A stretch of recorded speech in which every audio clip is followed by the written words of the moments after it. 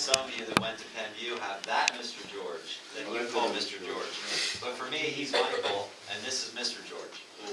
But first name Elias would probably be okay in this case. Um, So, then a chance to give us some ideas in chapel. Could one of my students tell Mr. George, this Mr. George, Elias, what was our conclusion about Israel West Bank? What did we think should happen today with Israel West Bank? Do you remember? Let me look for the picture.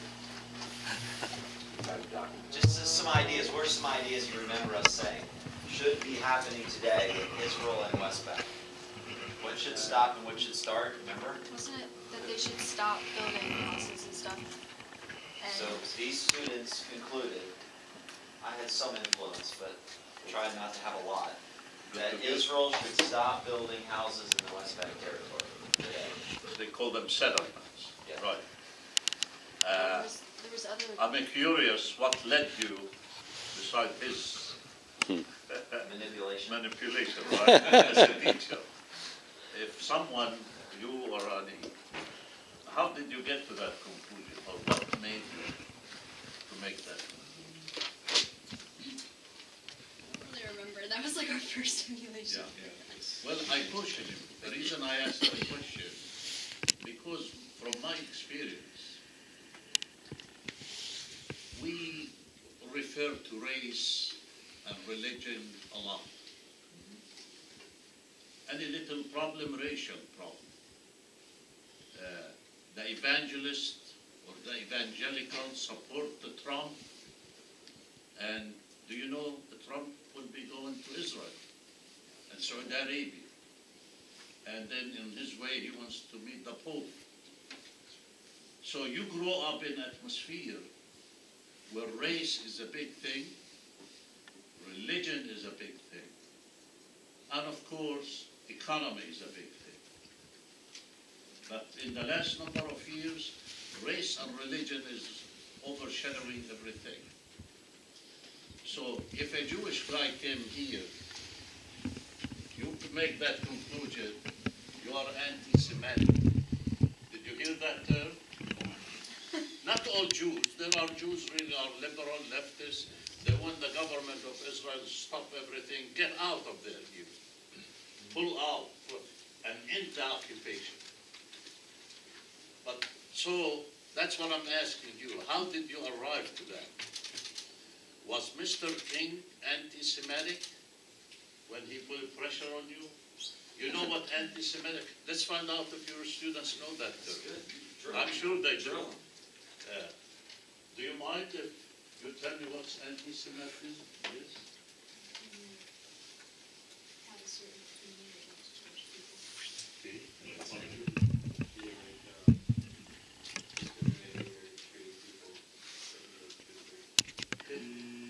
Uh, The word Semitic, it tells us that the Jewish belong to the Semitic race.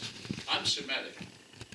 The Arabs and the Jews are Semitic people. Uh, It goes back to biblical times, and they were from Semitic tribe. And uh, you can also characterize the Semitic people uh, people that uh, maybe you say they are some of the first people that related to a God, one God. You know, in Arabic they call him Allah, in Hebrew Allahim. So, religion became the center of their community and they start building temples and this and that. So, when you, Mr. Bush, Bush, uh, said, keep halak and talk to me a little bit. He spoke Arabic. The Jews speak Hebrew. But you hear people, if you go to a university and you study those languages, they say these are Semitic languages because they are the language of the Arabs and the Jews. And then you add to the Hebrew and Arabic, you add Aram Aramaic. Did I say it? Aramaic, Syriac, even Ethiopian, Amharic, the people of Ethiopia speak Amharic, all of these languages have Semitic roots. What is a Semitic root of this language? I'll say this, then I stop.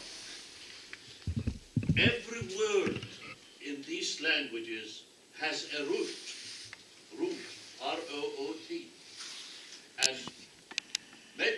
Five percent, 90% of the root is made up of three letters. Like, give me a word in English, then we'll translate it and we'll illustrate it here. Shalom. Go ahead. What did you say? Shalom. Shalom. Shalom. That's a beautiful Shalom. Shalom. I'm going to write shalom in Arabic, which is salam. Oh, my goodness, I'm shaking. I'm not scared from you but I'm almost 75 years old. That's young. And I'm getting A young thing. shaky, young, right? Okay, let me take my time writing it.